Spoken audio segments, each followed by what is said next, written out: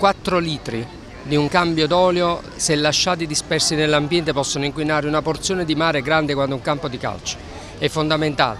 È fondamentale non buttare nemmeno un piccolo residuo di olio lubrificante esausto nel terreno, nelle falde, è fondamentale. Il messaggio è che noi ce la stiamo mettendo tutta, qualche buon risultato arriva, basta un piccolo gesto anche dall'altra parte. Il corretto smaltimento dei lubrificanti usati è un semplice gesto di responsabilità che assume per l'ambiente un significato enorme, perché da rifiuti pericolosi e altamente inquinanti possono essere rigenerati e trasformati in risorsa, reimmessi sul mercato con le stesse qualità di quelli nuovi. Ad occuparsene in Italia è il consorzio obbligatorio degli oli usati, che dall'84 ad oggi ha consentito di risparmiare circa 3 miliardi di euro sulle importazioni di petrolio.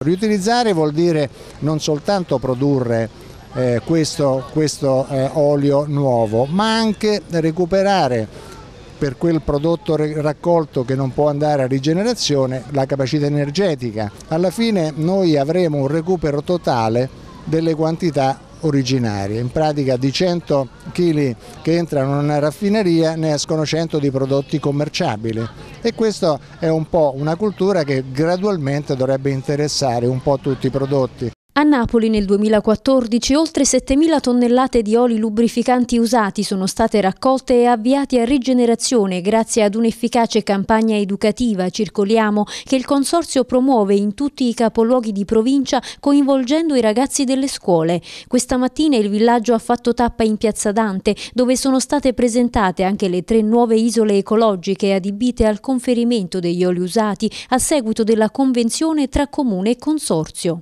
Le tre isole ecologiche iniziali, Saverio Gatto, Via Salgari e Viale della Resistenza, sono tre punti diversi della città con un'altra novità anche in questa aperta anche il sabato e la domenica, in modo da venire incontro ai cittadini che magari fanno piccoli lavoretti in economia, si possono recare alle isole ecologiche in piena libertà, il tutto è assolutamente gratuito. Se ognuno fa un piccolo pezzo noi co-generiamo un servizio e questo vale per tutto, vale sia per il gesto della raccolta, sia per il risparmio delle risorse naturali e sia per aiutarci a contribuire nella raccolta differenziata.